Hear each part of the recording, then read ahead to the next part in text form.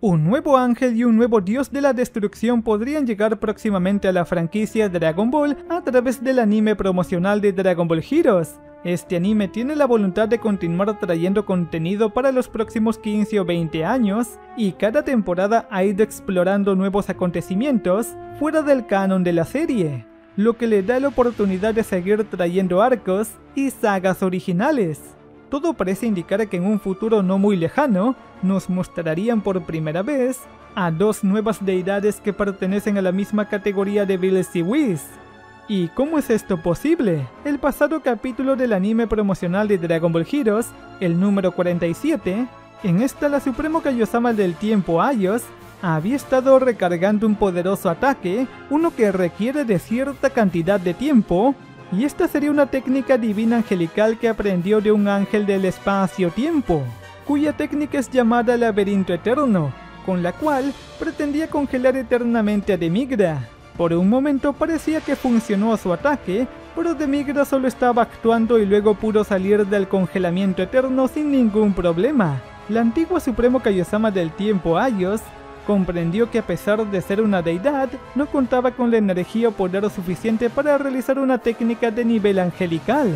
La otra Supremo Kaiosama del tiempo Cronoa es ella quien menciona explícitamente que la técnica que está utilizando Ayos es una técnica suprema secreta que le pertenece al ángel del espacio-tiempo. Dichas palabras estarían confirmando la existencia de una deidad angelical del espacio-tiempo cuyo rango está más arriba que el de Cronoa y Ayos. Crono era la deidad de estatus más grande en cuanto a un Kaioshin del espacio-tiempo, pero ahora sabemos que en la jerarquía habría todavía alguien más por encima. Curiosamente ahora en Dragon Ball Fusions, otro producto de la franquicia, completamente oficial por cierto pero no canon, existe un personaje llamado Neril, quien es una especie de ángel que sirvió a un dios de la destrucción hace mucho tiempo pero lo que lo hace interesante es que se especializa en habilidades del espacio-tiempo.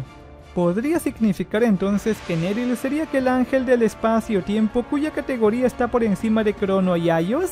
Neril es una especie de ángel femenina, aunque no es estrictamente un ángel como tal, pero da la impresión de que sí lo fuese porque sirvió a una deidad de la destrucción.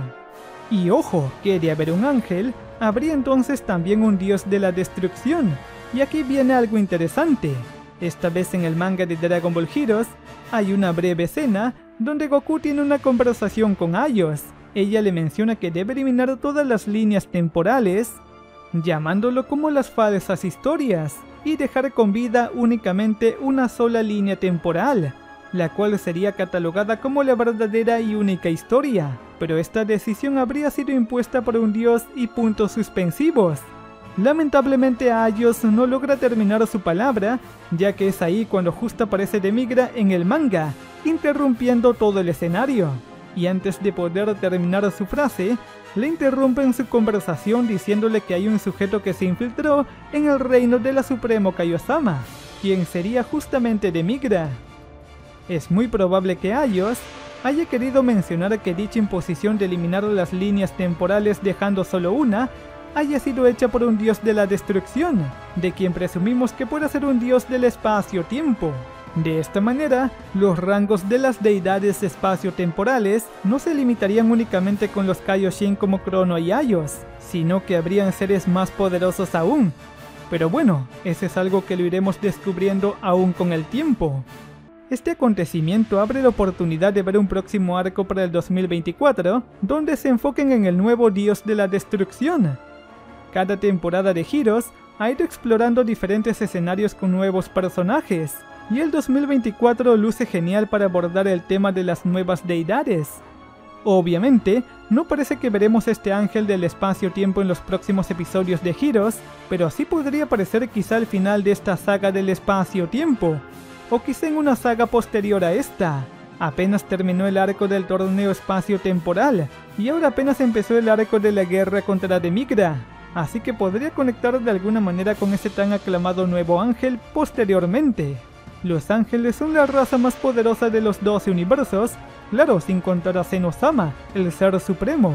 Estos seres fueron presentados en Dragon Ball Super como las guías de los dioses de la destrucción, siendo un total de 12 ángeles.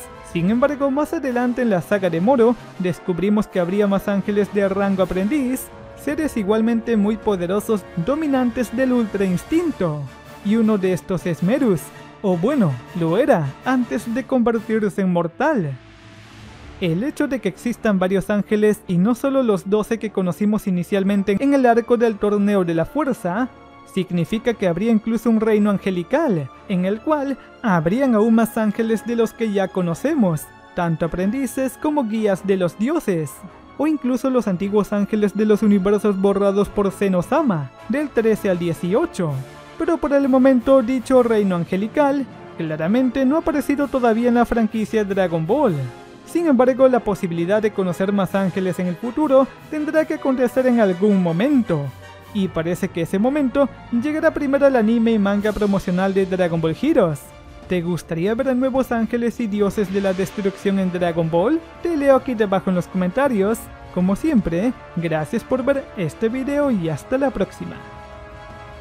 Y en otras noticias, ¿una nueva saga del reino demonio en Dragon Ball sería posible eventualmente?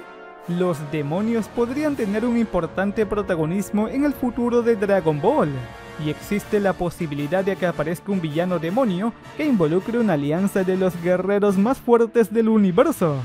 Si los demonios son presentados como la antítesis de los ángeles, estos deberían tener también un poder sobrenatural similar o superior al de estas deidades.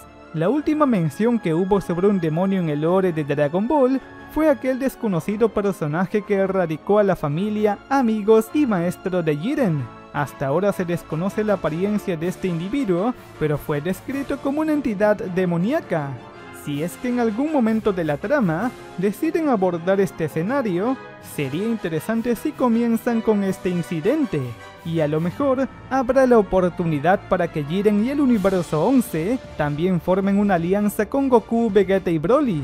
La premisa más importante a tener en cuenta es que de haber ángeles universales, entonces seguramente también debe haber la contraparte de estos, quienes serían justamente los demonios, o al menos eso nos dice el sentido común.